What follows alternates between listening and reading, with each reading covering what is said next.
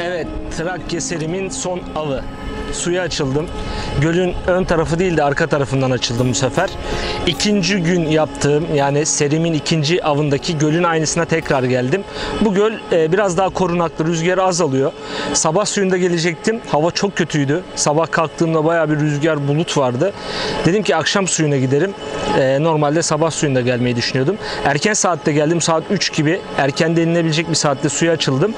Akşama kadar buradayım. Son avım diye böyle doya doya yaşamak istiyorum.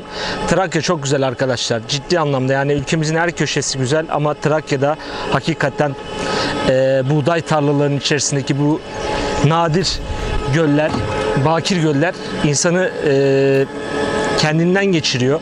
Gerçekten bu bölge Trakya bölgesi benim çocukluğumun geçtiği bir bölge ve e, burada çok uzun zamandır avlanmak istiyordum. Böyle şimdi son avım doya doya yaşamak istiyorum. Böyle uzun bir av olsun. Burada güzel balıklar yakaladım. Tatlı su levreği, turna yakalamak istiyorum. Böyle iri boyutlarında olsun. Umuyorum ki güzel bir gün geçireceğiz. Her şey yerinde çünkü. Hava çok da rüzgarlı değil. Tuvalette dediler yasak e, avlanan kişi var dediler. Yasak mı? Şu an yasak olduğunu söylediler. Ben şimdi bir tane fotoğraf çekmem gerekiyor senin. Tamam buyurun çekin. Şey e, Ama herhangi bir yasak yok. yok şimdi onlar geliyormuş bilmiyorum. Hani şu an şeyler var. Burada elektrikle falan da tutanlar var ya. Benim elektrikle işim yok. Ben YouTube'a video atıyorum. Bakabilirsiniz. Herhalde şikayet etmişler köydekiler. Ha, normal yani bir şey diyemez de ben gerekli şeyi söyledim yani. Tamam. Ya olabilir ama ben ya- yasa dışı kesinlikle bir şey yapmıyorum. Gayet her şey yasal şekilde. Onlar da gelsin istersen bekliyorum. Tamam oldu. Bir tutarsanız çok iyi olur. Kayar mı? Kaymaz herhalde. Kayar biraz daha çekelim istersen. Tamam. Ha tamam şu an iyi. Evet. Sportif olarak yani tamamıyla bir de avlandığım yeri de söylemiyorum. İnsanlar hani öğrenip akın etmesinler diye. Yani benim e, yasa dışı yaptığım hiçbir şey yok ama. Tamam sen şimdi bekleyeceksin yapacak bir şey yok. Tamam bekleyeyim Gel sıkıntı yok. Gelsinler. Memlekette abuk subuk adam çok olunca insan tabi ister istemez şey yapıyor. Şimdi tekneylesin ya. O göze batıyor. Normal kenardan tutma çalışsan o göze batmaz. Köyden şikayet etmişlerdir ya. Köyden girerken gördüler beni tekne arabanın üstünde. Şuradan karşıdakiler şikayet etti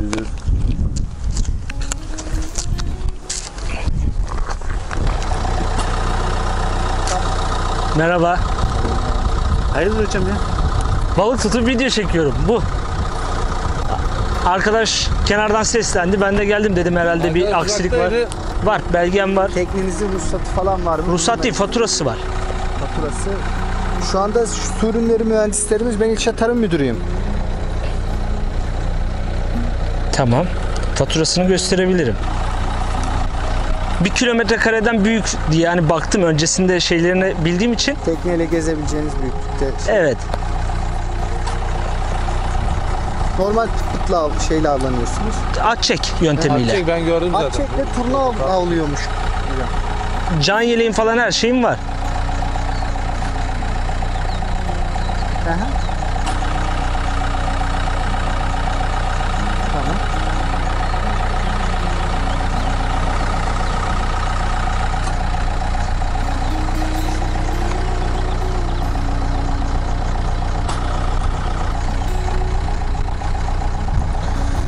Tamam sıkıntı yok o zaman. Ağınız falan yok. Yok. Baktınız bakabilirsiniz var mı herhangi? tekneye. Baktım hiçbir falan şey yok. hiçbir şey yok. Yok. Tamam, Olta vardı 3 tane. Olta var. 3 tane vardı galiba. Üç tane. O da değiştirip Balığınız değiştirip falan var atıyorum mı diye. tuttuğunuz? Balık da yok. Balık da yok. Neydi? YouTuber'sınız o zaman. Değilim aslında. Yani şöyle çok yani keyfi olarak paylaşım olsun diye. Hobi olarak yapıyorum.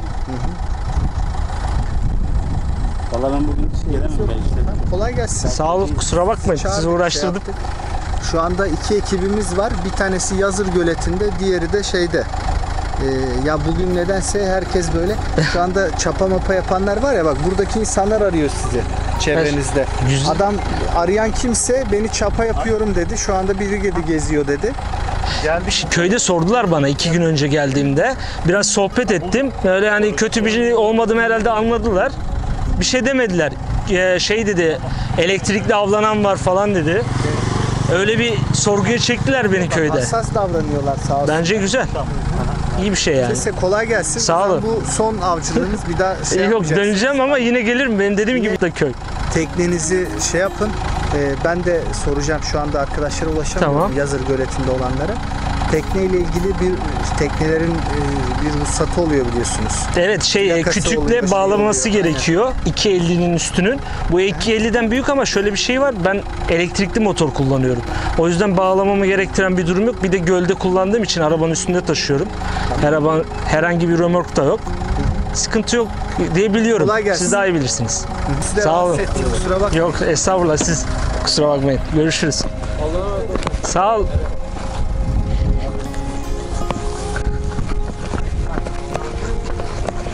Evet uzun bekleyişler sonunda tarım müdürü geldi. Sağ olsun anlayışlı ve nazik bir adammış. Ee, güzelce dinledi yani lafı ağzıma tıkamadı. Kendisi de anlayış gösterip herhangi bir sorun olmadığını dile getirdi. Yani işi kurallarına göre avlandığınız zaman herhangi bir sıkıntı yaşamıyorsunuz. Ben elektrikli motor kullanıyorum. E, avlandığım göl bir kilometre kareden büyük. E, bunun dışında can yeleğim var. Herhangi bir zaten balık almadım. Balıklara da bakabilirlerdi ama zaten konuşmamdan vesaire e, anladılar. YouTube'da video çektiğimi söyledim. Teşekkür ettim ve e, tekrar balık tutabileceğimi söylediler. Valla hoşuma gitmedi desem yalan olur. Güzel bir şey yani sonuçta denetim iyi bir şey. Kontrol özgürlüğe mani değil yani. Kontrol edilmesi gerekiyor böyle şeylerin.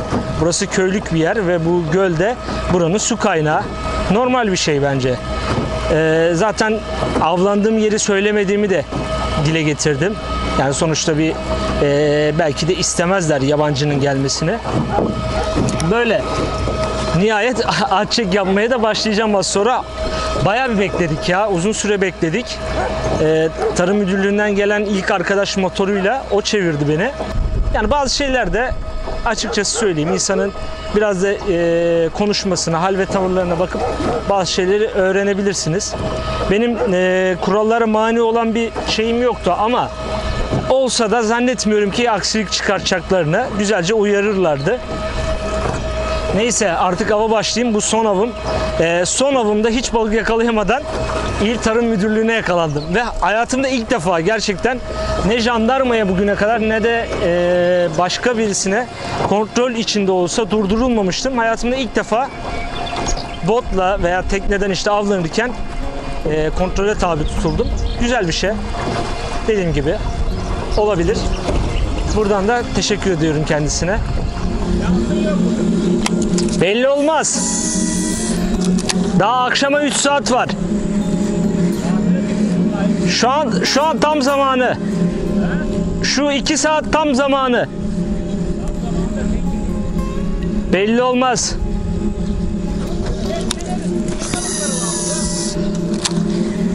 Ben turnayla testere balığı tuttum. Tatlı su levreği. Ama sazanla yayın da varmış.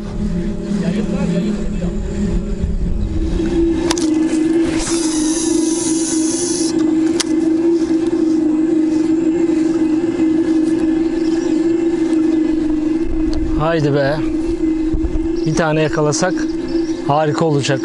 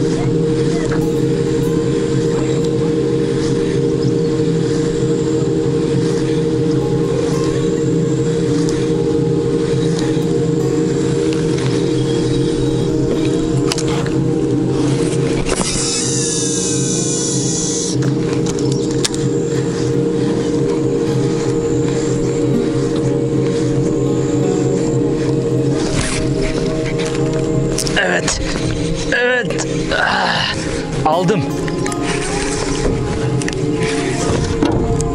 Geldi.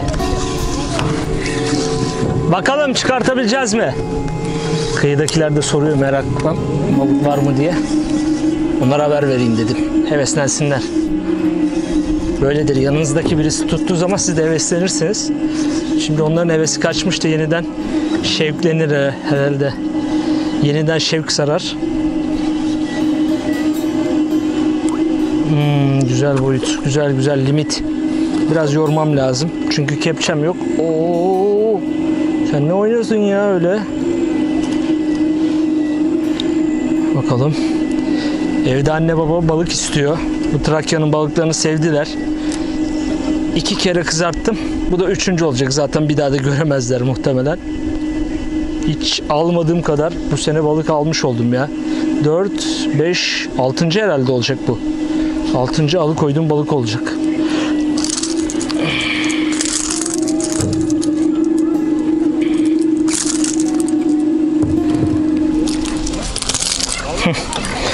Evet. Kaç santim? Oo, 50'ye yakın. Yani ortalaması 50.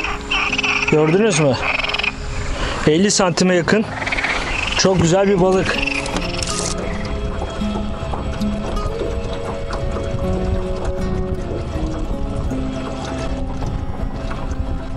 Sırtından bir şey yakalayamadım. Umudum Atçek'ten yana. Güzel bir balık aldım Atçek'ten çünkü.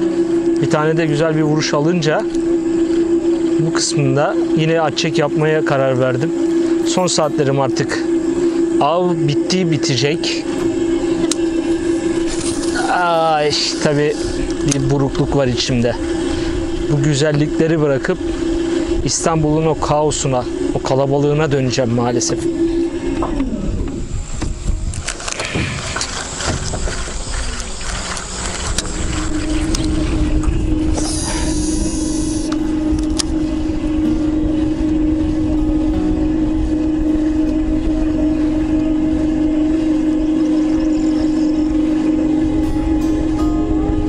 Evet, balık, balık, balık, balık. Evet. Aldım. Aldım. Motor durdurayım rüzgar atsın beni. Ne bu? Aa. Bu ne ya? Ha turna. Botla beraber geliyormuş. Ben de dedim ne bu böyle?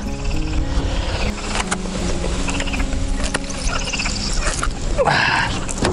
40 santimden büyük olabilir de olmayabilir. Ağzını da kapatıyor ergele. Tam böyle şey yapma yani.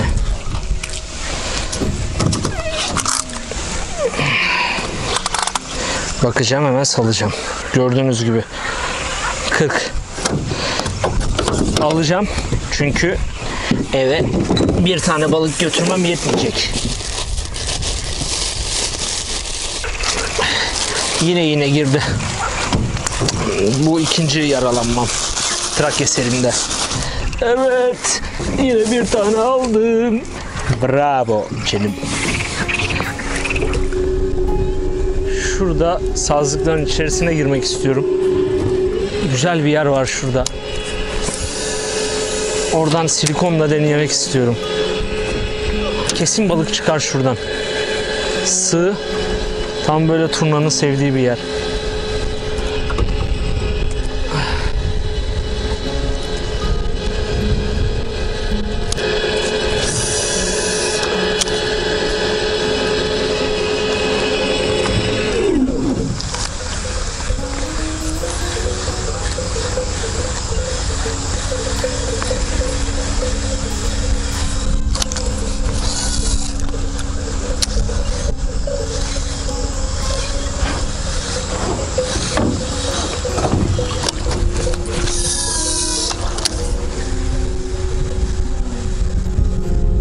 İyice otların arasına girdim. Evet. Tam geri dedim ya. Anlayamadım bile ilk ot gibi otun yanından geçiyordu. Hmm, bu ufak. Bu 40 santimden ufak. Garanti verebilirim. Otların içinden bir tane daha aldık. Akşam saatinde balık oynamaya başladı ya. Oo agresif. Bir de tıslıyor. Psikopat. Ya ufaklar çok kötü yutuyor ya. Çok kötü yutuyor. Şöyle yani 39 ama 40'a çok yakın yani 39 falan. Ufak zaten belli halinden. Sadece ince uzun. Yani burada limit 40 santim ama bazı balıklar mesela ince uzun oluyor. Bazı balıklar daha böyle tıknaz tombul oluyor. Yani 40 santim de aslında çok iyi bir gösterge değil. Yine de biz kurallara uyup ölçüyoruz.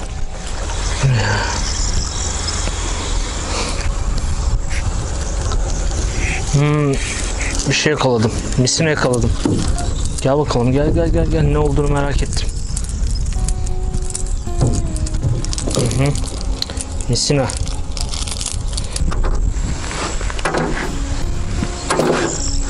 Baya baya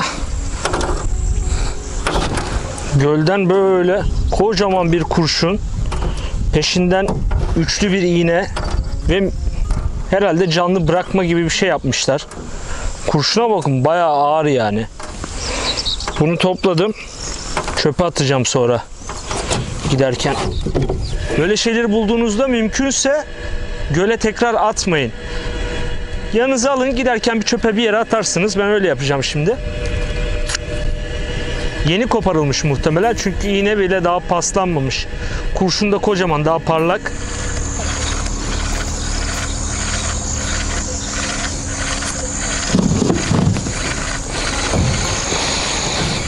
Vallahi balık avcılığında en sevdiğim an. En sevdiğim an. Şu an rüzgar böyle kesti. Havanın kararmasına bir, bir buçuk saatlik bir zaman var. Böyle bir dinginlik hali alıyor. Önümde de tabii ağaçlar yemyeşil. Ortam çok güzel. Yani şurada bir hafta kamp yapışan deseler vallahi yaparım. Çok güzel bir yer. O yüzden zaten bu göle tekrar geldim. En sevdiğim yer burası oldu. Bu dört göl arasından en çok burayı sevdim. Baktığınız zaman bu Trakya serimde en çok balığı ilk gittiğim gölden yakaladım. Ama ben balık peşinde değilim. Çoğu zaman biraz anın peşindeyim. Maceranın peşindeyim. Balık biraz ikinci planda kalıyor. Mesela dördüncü gün gittiğim gölden hiç balık yakalayamadım ama orayı keşfetmek, oranın macerasını yaşamak o bile benim için yeterliydi. Yani balık her zaman olmazsa olmaz değil. Tekrar tekrar söylüyorum bunu ben. Tabii ki balık yakalamak ilk amacımız ama olmadı mı da anın keyfini çıkartmayı bilmek gerekiyor. Yani şu an yani balık var yok inanın umurumda değil. Hani görüyorsunuz. Bir de burada şu anda olsaydınız ve şu anı yaşıyor olsaydınız çok güzel ya. Avlandığım en güzel yerler listesinde birinciliğe oynayabilir burası. Şu anda yağmur başladı ama. Ufaktan çiseliyor. Evet Instagram'a hikaye attım. Eğer Instagram'dan beni takip ederseniz bir ön bilgi edinmiş olursunuz. Hikaye olarak paylaşıyorum. Çok da işin sürprizini kaçırmadan tabii ki. Neyse ki yağmur çok yağmayacak herhalde. Önümde bir kara bulut daha var ama gitmek de istemiyorum. Son bir saatim var ya. Saat daha 7.11. 8'de avı sonlandıracaktım ki hava 8.40'da falan kararıyor.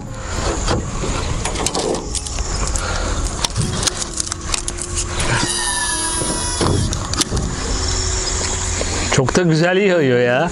Böyle ufak yağıyor. Böyle sevimli bir yağmur yani. Bu ana ayrı bir hava kattı.